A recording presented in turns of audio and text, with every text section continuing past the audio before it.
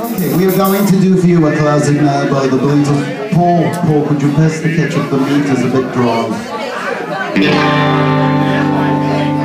It's been a